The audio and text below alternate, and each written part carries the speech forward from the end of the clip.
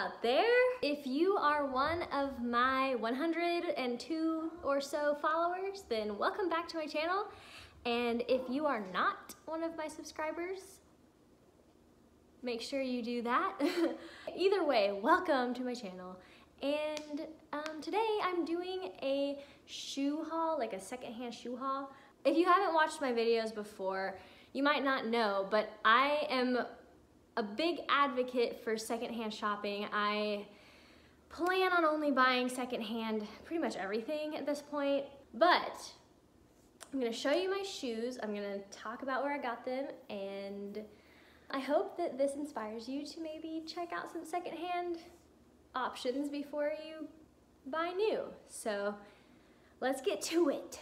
Okay, so these first shoes are these like black sandals. They're just like flat, comfy, easy to slide on sandals. And I got them at Style Encore for $7. And Style Encore is just pretty much like, I don't know if you've heard of Plato's Closet, but Style Encore is like, I would say the more grown up professional version of Plato's Closet. so it's basically a consignment shop. And I got some other stuff from Style Encore too. I got some dress pants.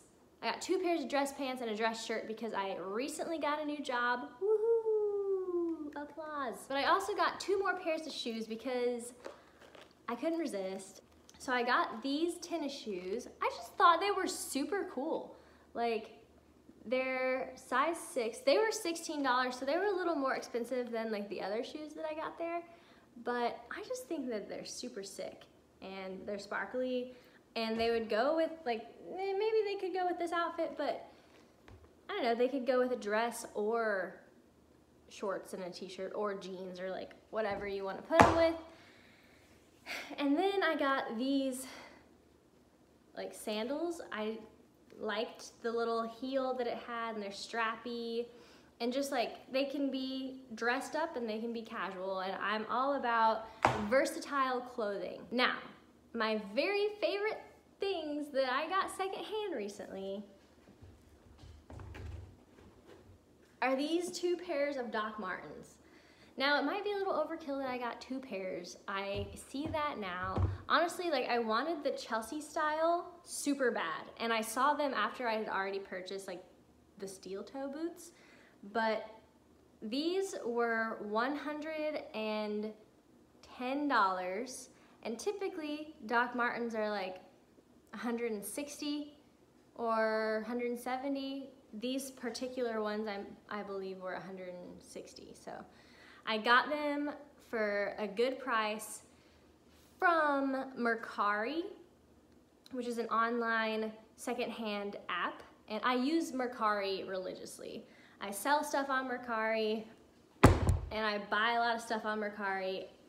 It's super awesome. This just goes to show you can find any kind of shoes you want secondhand and it's cheaper, it's more like, it's better for the environment usually and it's just like it's it's so satisfying to be able to find these things thrifted like to me i'm just trying to convince everybody in the world that like secondhand shopping is better these ones are the steel toe like combat boots and they were $100 from Poshmark so I think it ended up being like $113 uh, with shipping or after tax I think it was with shipping. Um, so anyway, I felt like that was a really good deal and I got two pairs. Um, you know, you can just, there's different, different styles for different occasions, but I was just very happy that I found them.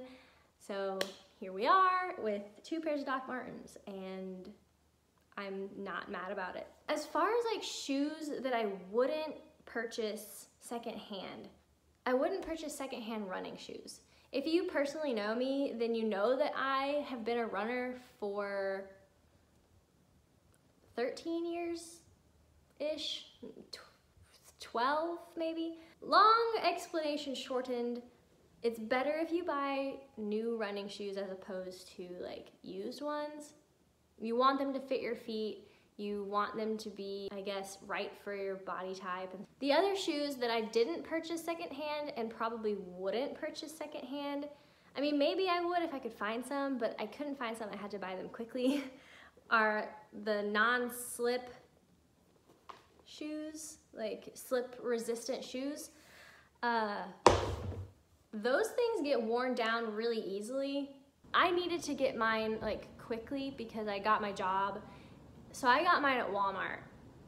I wouldn't typically say I support Walmart in every shape or form, but I did need to get these. So they were like $26 at Walmart and I need them for my job. I just wanted to share my thrift finds with you guys and I, I'm honestly very proud of the shoes that I buy secondhand, of anything that I buy secondhand. Before 2020, I never really wanted to buy secondhand shoes. I, I was like all about shopping, like thrifting and stuff.